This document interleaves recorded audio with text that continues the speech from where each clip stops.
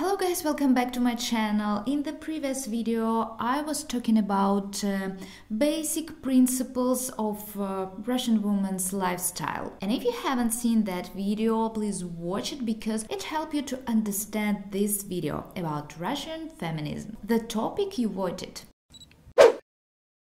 And what are Russian feminists fighting for? First of all, about uh, the scale of this movement uh, in Russia. According to statistics, uh, there were around 300,000 different feminist events uh, in uh, 2019 in Russia. However, there is no single main uh, movement of uh, feminism in Russia, and feminism in Russia is scattered. There is a lot of different communities. As usual, um, it are not like official organization. It's more like a public communities. Meanwhile a lot of russian women agree with the basic um, thesis of Russian feminism, but they don't belong to feminism organization and don't actively advocate for it. And what are Russian feminists fighting for? Remember about Russian wife's lifestyle, and traditionally women in Russia take responsibility for chores and uh, education of children, but at the same time she must work and she can't be just a housewife so modern russian feminist girl against the so called second shift and they want to share on an equal footing with their husband the care about the children and the chores. Russian feminists disagree with thinking that wife is always stand the second step, like a second part. She's not the leader. For example, be married in Russian sounds like быть замужем, what literally means uh, stay behind her husband. About career, according to Russian feminists, uh, there are a glass ceiling in a Russian company for women, and men don't want to see a woman as a leader. And according to Russian statistics, men hold more leader position than uh, women in uh, Russian companies. In Russia, about 100 professions are prohibited for women officially, but I should say that uh, these professions um, indeed really hard or uh, harmful work, but feminists are fighting uh, against these uh, prohibited lists. And what is interesting that uh, governments say that we prohibit it just because we care about our women. Domestic violence. I think there is no single woman who uh, did not support uh, this topic. And of course, this topic uh, is um, mm, relevant not only for Russia but uh, for many countries uh, in the world.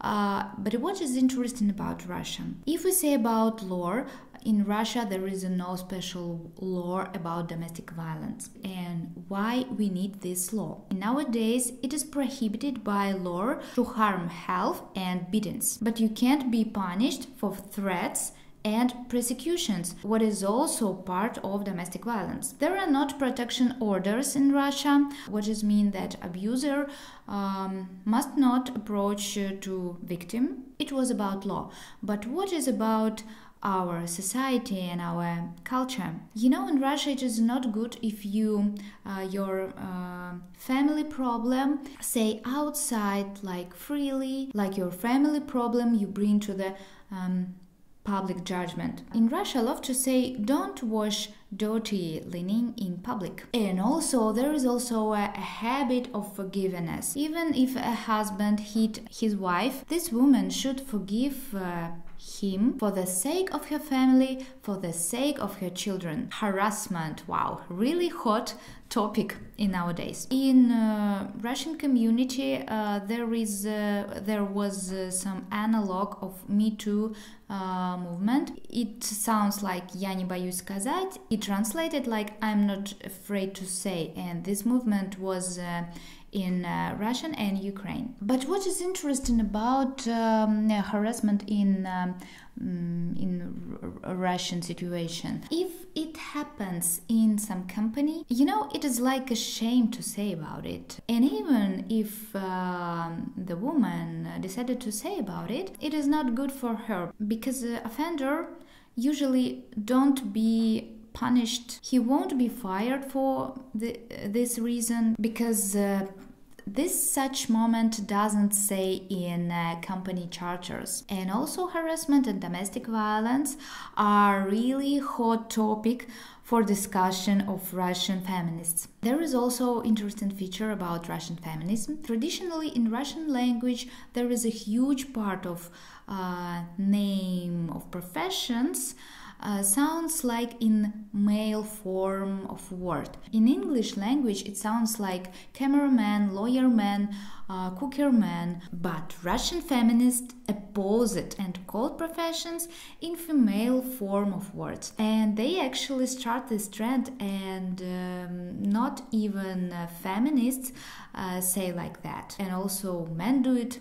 Uh, somebody do it just for fun because it uh, sounds really funny in Russian language. Somebody do it for serious. In Russian culture, there is a special Women's Day. We celebrate it in 8th of March. In this day, traditionally, women dress beautiful. They are gorgeous. Uh, men give uh, flowers and gifts uh, for women. In family, uh, husband um, take care of uh, children and uh, do about and do chores um, which uh, usually do uh, women but russian feminists disagree with it. And they ask why we can get this attention only in this single day. And also they disagree that in this day we women must be beautiful. It's like they oppose uh, sexual objectifications. So guys this video was about Russian feminism, uh, the topic uh, that you voted. So, what do you think about? Did you find some authentic things, or is it quite uh, similar uh, uh, with the uh, feminist um, feminism in your country? Please text me in the comment. And thank you for watching. And bye bye.